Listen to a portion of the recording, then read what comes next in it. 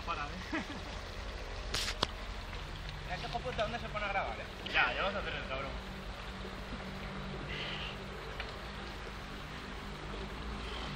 Hay que trolearos un poco, joder. Cuidado que te se pilla hasta adentro. Joder, ya me había secado, me cago en Dios.